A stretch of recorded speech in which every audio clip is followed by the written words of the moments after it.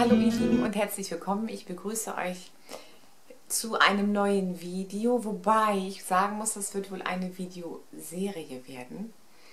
Und zwar geht es um das Thema, und das ist ein schweres Thema, wie ist Materie aufgebaut? Wie ist Materie aufgebaut oder aber gibt es eine Seele? Oder was ist die Psyche? Und warum ist das wichtig? Warum ist das wichtig? Und das ist wichtig und ganz zum Schluss dieser Videos komme ich auf den Punkt zwischendurch wahrscheinlich auch schon mal. Ihr müsst ja dranbleiben und interessiert bleiben.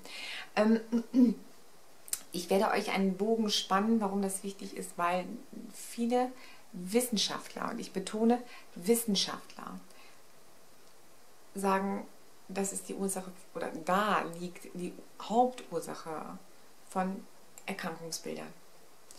So, warum sage ich das so sportlich? Nicht, weil ich es besser weiß, sondern weil ich, das wisst ihr, selber Patientin bin und die Diagnose bekommen habe, das ist jetzt mal austherapiert. Das ist jetzt gelaufen. So, nun kann man sich zurücklehnen und sagen, ja, das ist jetzt austherapiert, alles klar, dann te te äh, telefoniere ich mal mit meiner Krankenkasse, was man da so machen kann. Und ich lebe dieses Erkrankungsbild. Das kann ich machen für mich ist das noch nie irgendwie eine Alternative gewesen. Ich habe drei Kinder, bin alleinerziehend, mehr oder weniger. Es gibt natürlich irgendwo einen Vater und es gibt natürlich auch irgendwo Omas und Opas. Ist alles gut, aber ich muss zusehen, dass ich drei Kinder ins Leben kriege. Und zwar vernünftig. Und auch ich möchte noch ein bisschen leben. Wackelig, aber so, ich habe noch so ein paar Ideen und Vorstellungen. Bedeutet, lebe ich jetzt dieses Krankheitsbild oder gehe ich jetzt in die Depression? Weine ich nur noch, verstecke ich mich? Wie gehe ich damit um? Mit dieser Diagnose. Ich habe leider nicht genügend Geld, um damit die Puppen tanzen zu lassen. Das wäre vielleicht auch eine Möglichkeit. Ähm, nicht bei drei Kindern also ihr merkt schon, das, das werden sehr authentische Videos, sehr ehrliche Videos. Was aber ganz wichtig ist, gerade wenn ihr ein Erkrankungsbild habt, was sehr hartnäckig ist, euch sehr erhalten bleibt und jemand zu euch gesagt hat, so, das ist jetzt austherapiert, da müssen Sie jetzt mit leben. Dann fangt doch mal an, mit eurem Körper zu arbeiten. Es gibt ja auch so Knaller, die sagen, mit seinem Körper kann man nicht arbeiten. Äh, ja, da ist die Frage, was ist eigentlich Körper? Haben wir eigentlich nur diesen physischen Körper oder haben wir auch noch mehr Körper?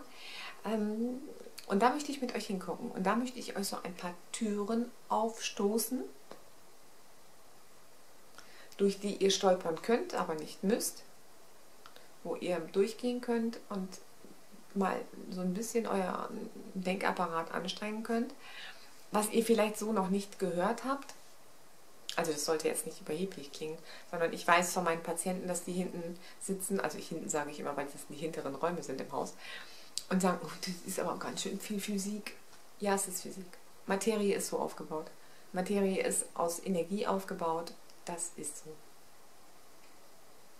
In diesem Sinne, und da möchte ich mit euch hingucken. Es sind interessante Videos.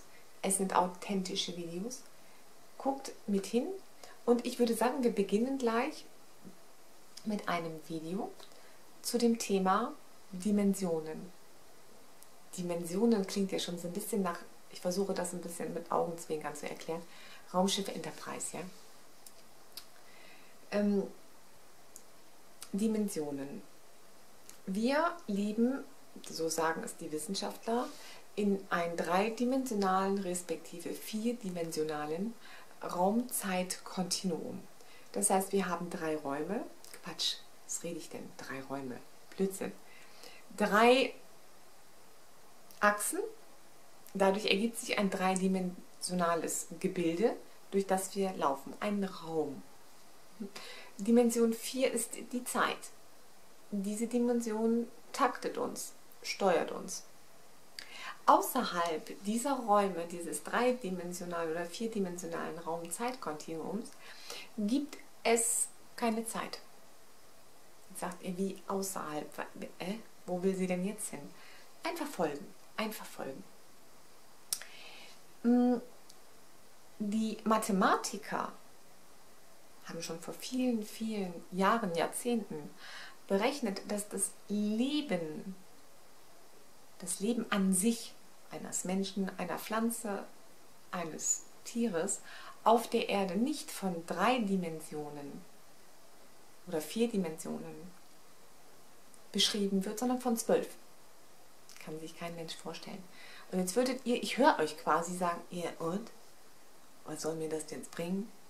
Ich habe Erkrankung XY. Warum ist das wichtig? Genau. Warum ist das wichtig? Weil ihr euch euren Diabetes vielleicht oder eure Arthrose, degenerative Erkrankungsbilder vielleicht erarbeitet habt auf einer rein physischen Ebene über Lebensstil, zu viel Belastung, Achsenfehlstellungen im Gelenk, keine Ahnung. Es sind Probleme auf der physischen Ebene unseres Körpers. Aber die Wissenschaft, ich rede nicht von Onkel Doktor an der Ecke, der weiß das nicht. Der ist kein Physiker, der guckt da nicht hin. Und ich gucke da auch nur hin, weil ich A, ursprünglich mal Chemikerin war und B, gezwungen bin, mir ein paar Gedanken zu machen. Die Wissenschaft sagt, Erkrankungsbilder, Bösewichter, MS, ALS, Krebs und so Bösewichter, Demenz, Alzheimer, solche Geschichten, kommen aus der fünften Dimension oder höher. Heißt, ein Erkrankungsbild ist eine Fehlinformation. Erstmal eine Fehlinformation, die dann sich runterbricht auf den physischen Körper. Und das meine ich gar nicht spückig und auch überhaupt nicht esoterisch, sondern das ist etwas, wo die Quantenphysiker, die Biomediziner heute ziemlich gefestigt sind und sagen, jo, so ist das. Und auch Therapien danach entwickeln. Das heißt also, wenn wir ähm, zum Arzt gehen und der stellt irgendetwas fest, im Blutbild, im Röntgen, im MRT, dann werden wir ja in der Regel ganz nervös. Erstmal, oh, da ist was, oh Gott, oh Gott, da wächst, wächst was, da ist was entzündet, oh je. Ihr Lieben, das, was dort gesehen wird, ist aber ja schon lange da. Denn ein Messgerät hat ein, hat ein Auflösungsvermögen, ja? Das heißt, ein Tumor braucht eine gewisse Größe, damit er überhaupt erstmal entdeckt wird. Der ist schon lange da. Schon lange, lange. Und wahrscheinlich im elektrischen Feld schon sehr viel länger. Die erste Aussage des Videos, dieses Videos ist, es gibt mehrere Dimensionen und man geht davon aus, dass schwerwiegende Erkrankungsbilder, und das ist auch der Grund, warum wir pharmakologisch nicht rankommen, schwerwiegende Erkrankungsbilder eine Fehlinformation auf elektrischer Ebene sind in, in unserem Körper, auf Zellebene. Unsere Zellen funktionieren elektrisch, unser Körper funktioniert elektrisch. Wir gucken aber immer chemisch drauf, das sagt jetzt die Chemikerin, wir gucken immer chemisch drauf und sagen, nimm doch mal die Pille oder nimm doch mal den Tee oder schneid mal dies weg oder nimm mal einen Blutegel. Ja, das kann ich alles machen. Aber es ist nur die physische Ebene. Und wenn ihr zur Diagnose geht, dann ist das immer schon da. Und das besteht schon länger. Das hat sich aufgebaut. Und dieses, das hat sich aufgebaut, da guckt euch auch schon keiner hin. Und das ist nur die physische Ebene. Auf der physischen Ebene haben sich Erkrankungsbilder schon lange aufgebaut und ihr habt nicht hingeguckt, ihr habt nicht auf Signale gehört. Diana hat auch nie auf Signale gehört. Nein, überhaupt nicht. Ich muss, ich muss. Mhm. Alles klar. Ähm, ich höre mir immer selber zu, wenn ich rede, das wisst ihr schon. Ich meine das nie polarisierend. Also, es ist wichtig zu begreifen, dass der Körper elektrisch funktioniert und wir im elektrischen Feld ein Problem haben. Guckt euch bitte dazu nochmal das Video Alles genetisch an. Da erkläre ich nochmal die verschiedenen Instanzen des Körpers, sonst führt das zu weit an dieser Stelle. Wo wir in der Regel überhaupt nicht hingucken, weil wir am Massieren sind, am Kneten, am Spritzen, am Machen, am Tun. Das ist die physische Ebene. Die gibt es. Wir haben einen physischen Körper. Es gibt ja auch sehr viele dieser der spirituellen Richtung, die sind nur noch in geistigen Ebenen unterwegs und vergessen völlig, dass wir einen physischen Körper haben. Auch unglücklich. Ja? Wir sind Körper, Seele, Geist. Und wo wart ihr mit eurem Körper? Wie habt ihr auf den gehört? Wo wart ihr mit eurer Seele? Habt ihr dir auch mal was Gutes getan? Und wo wart ihr mit eurem Geist? Spürt da mal rein. Seele ist immer das Gefühl. Seele sind die Gefühle. Wo wart ihr mit euren Gefühlen? War da viel Stress in letzter Zeit? In den letzten Jahren? Trauer? Oder einfach nur viele gewesen? Und wo sind wir mit unserem Geist? In der Regel hängen wir den, will niemandem von euch zu nahe treten, aber vielfach hängen wir den an den Nagel, nicht? Wir kommen nach Hause, wir haben gearbeitet, sind erschöpft, duschen noch, dann knallen wir uns von Fernseher. Das ist nicht wirklich geistreich. Ähm, ein weites Feld, wirklich. Und es geht um darum zu begreifen, dass der Körper elektrisch funktioniert. Etwas, was in der russischen Medizin völlig logisch ist. Die Russen haben ihre, haben nicht diese, diese Überdominanz einer Pharmaindustrie und haben aufgrund ihrer kosmonautischen Erfahrung ähm, ganz anders ähm, mit den Kosmonauten und mit dem Körper der Kosmonauten gearbeitet.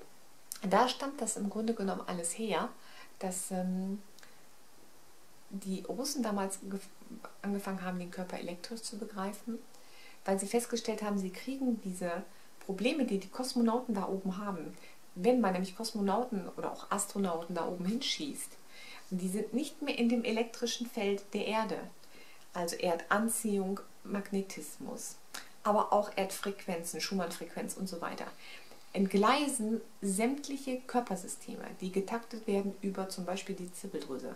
Das haut alles durcheinander, die kriegen massive ähm, Allergien und, und so weiter. Es entgleist denen alles. Wenn die dann runtergekommen sind auf die Erde, hieß es immer, sie sind in Quarantäne. Nee, die mussten erstmal wiederbelebt werden. Die Russen haben sich ganz anders Gedanken gemacht und eine ganz andere Medizin entwickelt als die Europäer oder die Amis.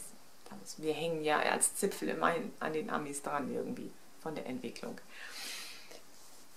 Das ist pharmakologischer geworden. Und das ist eine ganz, ganz interessante Richtung, da mal hinzugucken. Gerade wenn ihr schwerwiegende Erkrankungsbilder habt, ist es wichtig, dass ihr diese Dinge wisst.